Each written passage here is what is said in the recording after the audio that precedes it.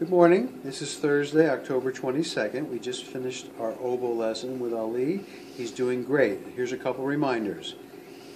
On when you push down your fingers, you have to really squeeze the oboe.